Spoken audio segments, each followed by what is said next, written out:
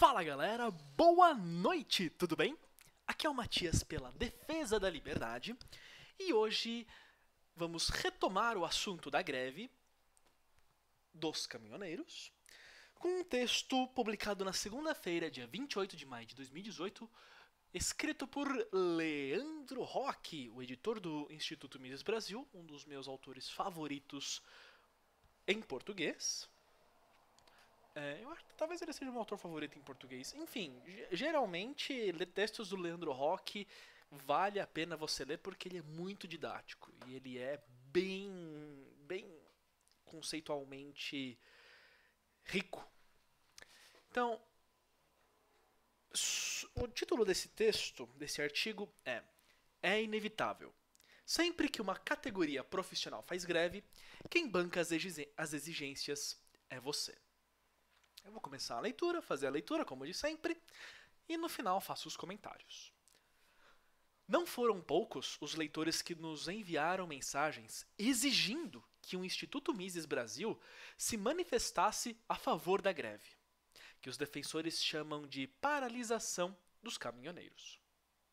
Segundo esses leitores, os caminhoneiros estavam se manifestando contra o Estado e exigindo a sua redução. Logo, Dados que ele, dado que eles eram anti-Estado, o Instituto Mises Brasil deveria se posicionar a favor deles, como aliás fizeram alguns institutos liberais. O problema é que já somos muito escaldados nessa questão. No Brasil, quando uma categoria profissional faz greve, ou paralisação, como queiram, ela nunca realmente quer a redução do Estado. Ao contrário, aliás, quer mais privilégios garantidos pelo Estado. Essa é a regra. No setor público, categorias fazem greve por aumento salarial e manutenção ou mesmo ampliação de mordomias. O pagador de impostos banca as exigências. No setor privado, fazem greve por reserva de mercado, garantia de preços mínimos e isenções. Esta última, uma demanda justa, desde que a isenção tributária não seja compensada sobre outros setores, que é o que sempre acontece. O consumidor banca as exigências. No caso dos caminhoneiros e das transportadoras, embora de fato utilizassem um linguajar com sotaque anti-Estado, exigindo a redução dos impostos, CID, PiscoFins, ICMS sobre o diesel, as reais demandas eram muito mais estatizantes do que libertárias. Isso ficou comprovado pelas medidas provisórias editadas pelo governo para satisfazer as demandas da categoria. Eis aqui a íntegra do documento que formalizou a ata da reunião dos caminhoneiros com o governo. Esse texto, essa ata, está disponível aqui na descrição do vídeo. Vamos aos principais pontos. Número 1. Redução de 46 centavos no preço do diesel. Os caminhoneiros pediam uma redução de entre 40 centavos e 60 centavos. Conseguiram. Mas como será feita essa redução? De um lado, o governo extinguirá a CID e reduzirá o piscofins que incide sobre o diesel de 46 centavos por litro para 35 centavos o litro. Essa é a única parte boa da notícia. Agora vem a encrenca. Essa redução de impostos representará apenas 16 centavos de redução no preço do diesel. Como o governo prometeu redução de 46 centavos, ainda faltam mais 30. De onde virão? Exato, de subsídios. O governo repassará dinheiro de impostos para a Petrobras, que na canetada reduziu o preço do diesel em suas refinarias, e para importadoras de combustíveis, responsáveis por 20% do consumo interno, para compensar essa queda forçada no preço. Qual será o custo final de tudo? A extinção da CID e a redução do PiscoFins gerarão, segundo o próprio governo, uma queda na arrecadação de 4 bilhões. Já os subsídios diretos custarão incríveis 9,5 bilhões de reais. Ou seja, queda de 4 bilhões na arrecadação e aumento de 9,5 bilhões nos gastos. Isso, nos dá um rombo total de 13,5 bilhões. Que tal? E como esse rombo será fechado? De concreto, haverá a reoneração da folha de pagamento de 28 setores. Ou seja, o governo irá aumentar o número de setores que voltarão a pagar imposto sobre a folha de pagamento. Transportadoras serão excluídas. Esse projeto está tramitando no Senado. O governo também afirmou que o reajuste virá da reserva de contingência do orçamento, do orçamento e de um forte corte nas despesas. Este último, obviamente, nunca ocorreu na história do país. Gastos nunca são cortados. No máximo, reduz-se seu ritmo de crescimento. Eis então a primeira conquista: controle de preços, aumento do déficit orçamentário e aumento da carga tributária sobre outras empresas. Nada libertário. Ah, e de lambuja, o Procon irá fiscalizar se os postos irão realmente repassar às bombas essa queda no preço. Isso é uma espécie de reedição branda dos fiscais do Sarney. Prossigamos. Número 2. Edição de medida provisória para extinguir a cobrança de pedágio pelo eixo suspenso de caminhões vazios em estradas federais, estaduais e municipais. Essa medida já era válida para as rodovias federais desde 2015. Agora será também obrigatória para as rodovias estaduais e municipais, inclusive as concessionadas. Qual o problema com essa medida? Vários. Citarei os três principais. Para começar, essa medida representa a total abolição do federalismo, se é que ele já existiu no país, e da autonomia de estados e municípios. O governo federal revogou a autonomia de estados e municípios sobre uma determinada questão e simplesmente centralizou uma decisão paroquial em Brasília. Na prática, todas as, as estradas do país foram federalizadas. Adicionalmente, tal medida gera uma inevitável incerteza jurídica. Empresas concessionárias que arremataram trechos rodoviários estaduais e municipais sob determinadas condições, como poder cobrar por eixo suspenso, agora, repentinamente, irão operar sob novas regras, definidas pelo governo federal. Houve uma alteração súbita nas regras, uma quebra de contrato, algo que não estava acordado no momento da concessão. Pela lógica, futuras concessões sairão mais caras, pois as empresas obviamente levarão em conta essa incerteza jurídica. Por fim, dado que a receita das concessionárias será reduzida por essa medida, é um tanto óbvio que elas irão tentar compensar essa queda na arrecadação, aumentando os pedágios sobre motos e carros. A ANTT não irá se opor a esse aumento, o qual será justificado como reposição inflacionária. Número 3. Edição de medida provisória garantindo que a CONAB, Companhia Nacional de Abastecimento, contrate caminhoneiros autônomos sem licitação para 30% dos fretes. Não tem como disfarçar, isso é reserva de mercado explícita, agora sacramentada por medida provisória. Caminhoneiros autônomos terão agora o direito de transportar 30% dos fretes da Conab, sendo escolhidos sem licitação, o que na prática representa literalmente um cheque em branco. Apenas para lembrar, a Conab é uma estatal que, só em 2017, gastou 107 milhões de reais apenas com frete. De agora em diante, a porteira está aberta. Número 4. Edição da medida provisória contemplando o texto do projeto de lei na Câmara, número 121 de 2017, que dispõe sobre a política de preços mínimos de frete em território federal. Essa também não tem como disfarçar. É uma política de imposição de preços mínimos, cujo efeito é impedir a entrada de novos e pequenos concorrentes. O autor deste projeto de lei é o deputado federal Assis de Couto, do PT do Paraná. Na prática, o governo federal está dizendo que nenhum frete pode custar menos que o valor estipulado por burocratas em conluio com caminhoneiros e transportadoras. O governo estipular preços mínimos significa a abolição do mais salutar efeito do livre mercado e da livre concorrência, que é exatamente a queda ou a contenção de preços.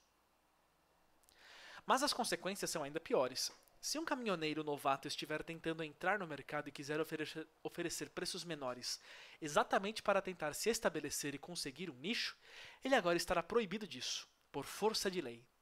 E se por acaso ele ainda assim quiser cobrar um preço baixo, poderá ser preso. De novo, Tal medida representa a abolição da livre concorrência, erigindo uma barreira à entrada de novos concorrentes no mercado de transportes. Representa também uma reserva de mercado para os caminhoneiros e transportadoras já estabelecidos. Desnecessário ressaltar que, ao vendo um piso para o frete, a tendência é que haja uma alta nos preços, principalmente dos alimentos. Redução no preço do diesel é uma redução de custo, a qual não necessariamente leva a uma redução de preços. Redução de preços só ocorre quando há livre concorrência. Como apoiar isso? Portanto, eis o resumo da ópera: mais reserva de mercado, imposição de preços mínimos para frete, restrição à entrada de novos concorrentes, mais centralização sob o governo federal, controle de preços do diesel, aumento de subsídios, repasses de dinheiro de impostos para a Petrobras e para importadoras de combustível, aumento do déficit orçamentário, o que implicará aumento da dívida pública e aumento de impostos sobre outros setores. É absolutamente impossível apoiar isso.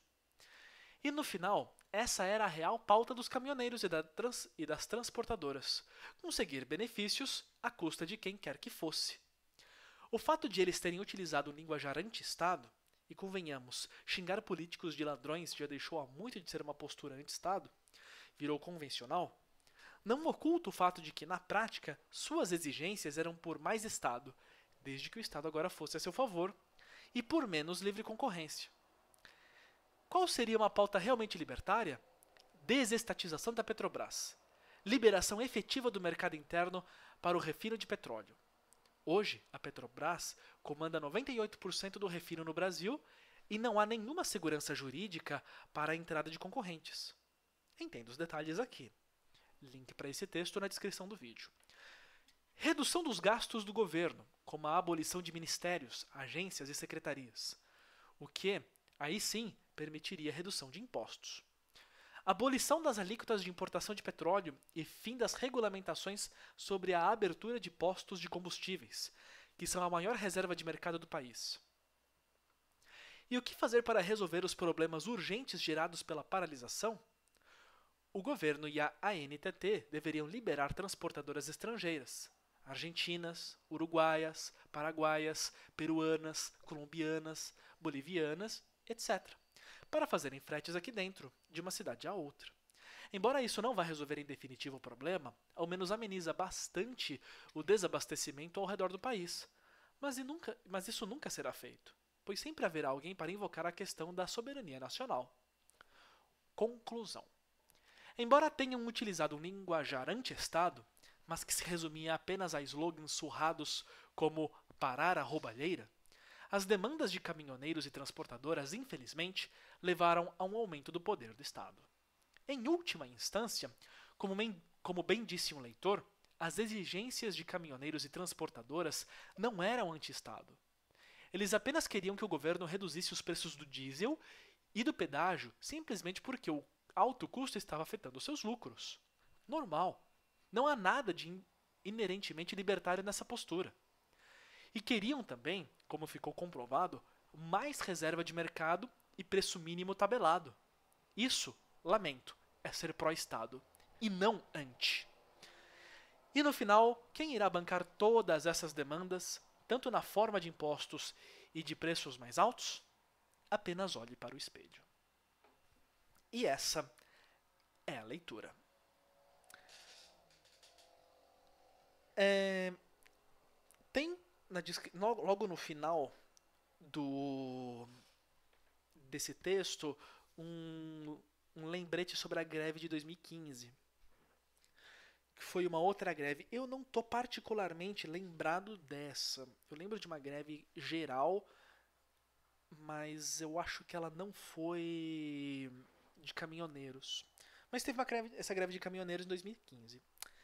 Enfim, eu não tinha tantas posturas, eu não tinha uma postura claramente definida sobre as pautas, as consequências. Isso ainda estava um pouco nebuloso para mim.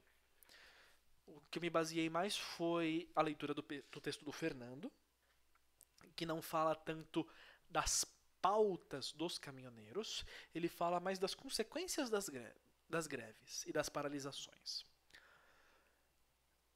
Esse texto, como sempre, Leandro Roque deixando as coisas muito mais claras. A greve fala: queremos a redução disso, queremos a redução dos impostos. Os políticos são corruptos.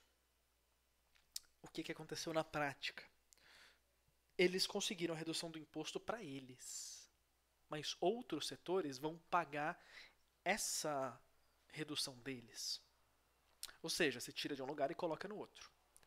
Você tira o custo de um setor e joga o custo para outro setor. Hum, na prática, isso por si só não reduz nem aumenta o Estado. Você só desvia o custo de um lugar para o outro. O que, que aumenta o Estado? O que, que faz aumentar o Estado? As outras medidas. Olha, agora para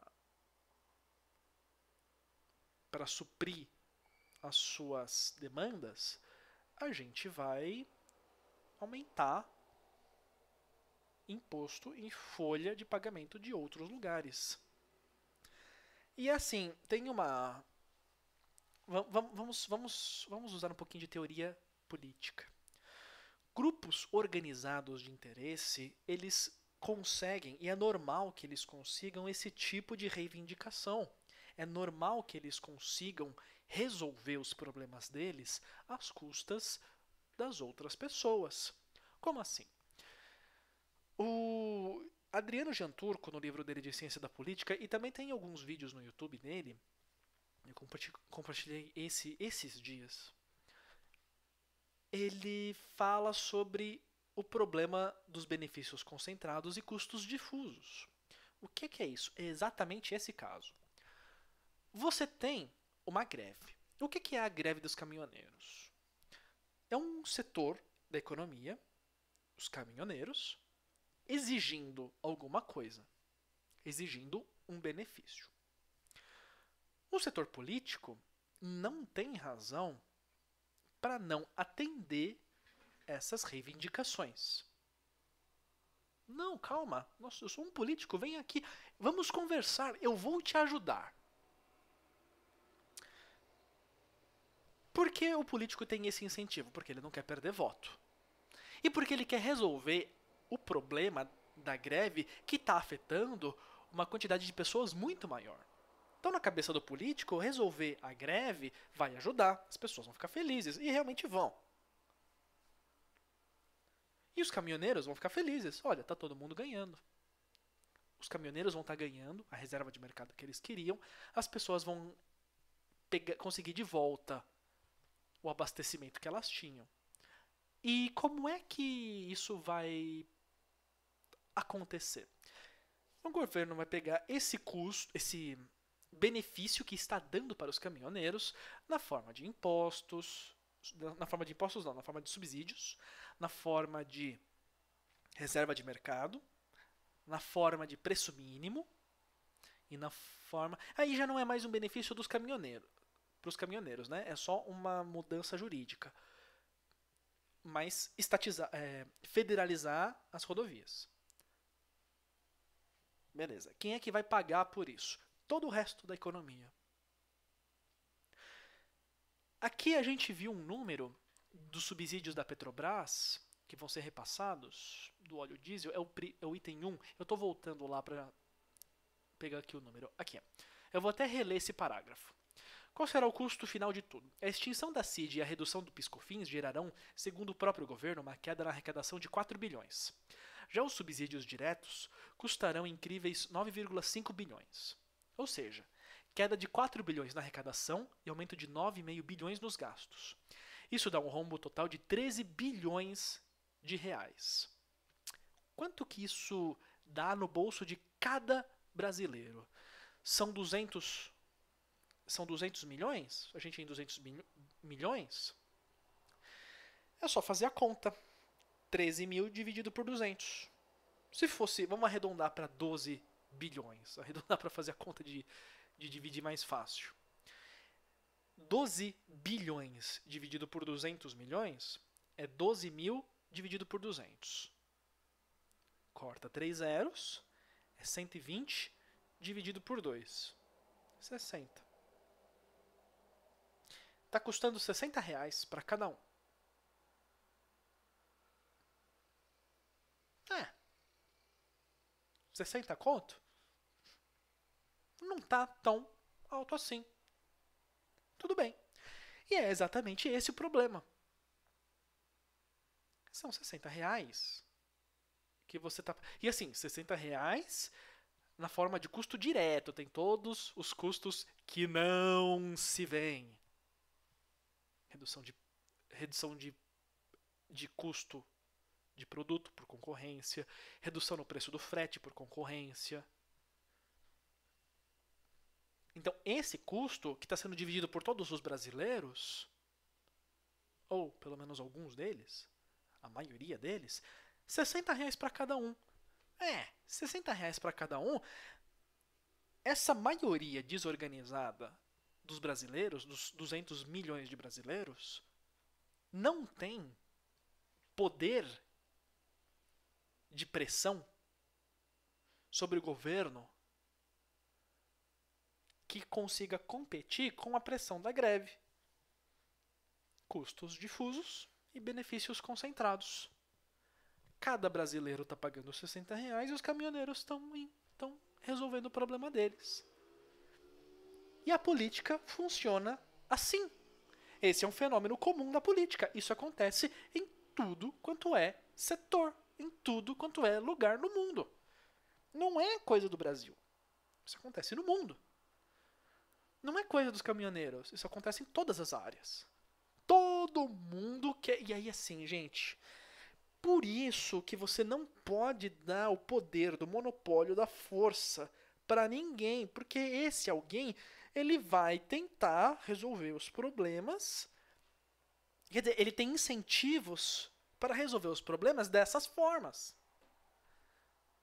Se você dá um poder para alguém, e eu acredito firmemente nisso, se você dá um poder para alguém, olha, agora o governo federal ele vai decidir tudo.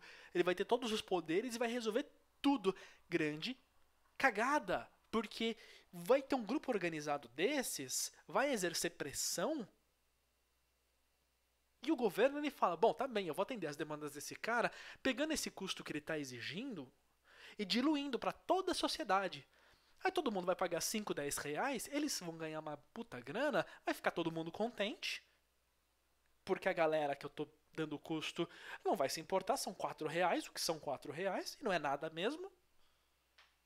Tá, tá, tá diluído em muita gente. Realmente não faz diferença. E essas pessoas, essas, a, a, esse grupo vai receber o incentivo que ele quer. Qual que é o problema? São vários grupos fazendo isso.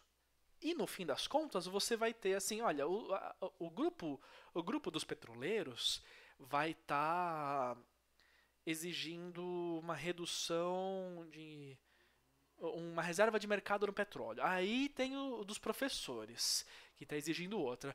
Aí tem a dos caminhoneiros, que tem outra. Aí tem do mercado financeiro, que está exigindo redução de não sei o que. Aí tem o dos produtores de soja. Aí depois tem os produtores de carne bovina. Aí tem a galera da soja, aí tem a Vale que faz exportação de minério. Na hora que você vê, tá todo mundo trocando custos diferentes.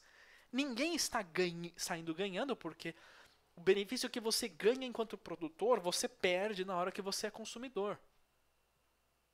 A mesma pessoa, o mesmo indivíduo, a mesma empresa.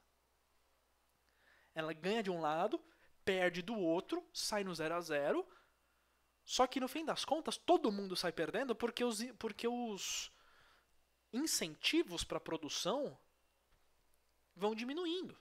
Fica menos vantajoso para você produzir. Aí você acaba não produzindo. Não produzindo, não tem riqueza. Não tendo riqueza, padrão de vida cai. Todo mundo sai perdendo. Entendem esse raciocínio? Vamos pensar numa mesa de de restaurante. Talvez esse exemplo fique mais fácil. A gente fala assim, gente, eu vou dividir, a gente vai dividir, a gente senta e fala, sentou, sorriu, a conta dividiu. Todo mundo come e depois a gente divide a conta. O que, que vai acontecer? Eu vou pedir refrigerante, sobremesa, não sei o que, porque a gente está em 10 pessoas, se eu pedir uma, uma sobremesa de 20 reais, eu vou pagar dois. O resto da galera vai pagar os outros 18. Vou pedir bebida, vou pedir tudo isso. Tá ótimo.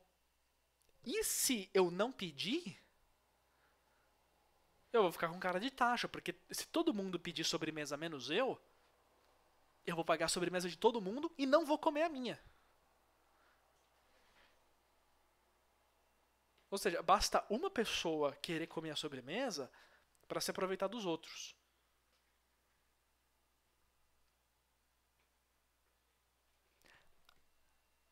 E aí o que acontece? Todo mundo tem a tendência, ou geralmente a maioria das pessoas, vai pedir alguma coisa. Só não vai pedir se não tiver com fome ou com vontade. Não, eu vou pedir sobremesa, refrigerante, um prato caro. E o que vai acontecer com a conta? A conta vai ficando cada vez mais cara. Se, por outro lado, cada um vai no mesmo restaurante e pede uma comanda individual, eu vou pagar os 20 conto da sobremesa. Se eu não tiver com realmente muita vontade, eu não vou pegar a sobremesa. É 20 conto. Não vou pegar refrigerante. Eu posso estar com muita sede. E aí eu pego. Mas vocês concordam que numa situação de ah, talvez eu pegue, não sei o que, ah, vou pegar, né? Tá todo mundo pegando. O, o ponto psicológico no qual você pega a bebida ou a sobremesa é diferente nos dois. É muito mais fácil você pegar a bebida quando você está dividindo a conta. É muito mais fácil você pegar uma sobremesa quando você está pedindo a conta. Então, é natural que uma que você gaste mais dividindo a conta com a galera. É normal que você economize quando você pede sozinho, quando você pe quando pede cada um a própria conta. Porque aí o cara que quer comer muito e pegar sobremesa, bebida e tudo mais, ele pega. O resto da galera pode não estar tá com tanta vontade, não sei o que. Mas se você não está com tanta vontade, mas vai dividir a conta, ah, você pega. Você vai pagar dois ou você vai pagar 10% do valor. Se custar 20, você paga dois reais, que são dois reais.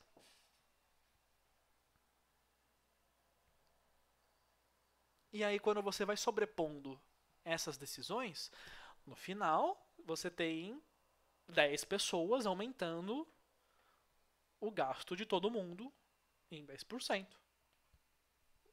A conta vai dobrar de 10% em 10%, a conta dobra. E essa é a cilada.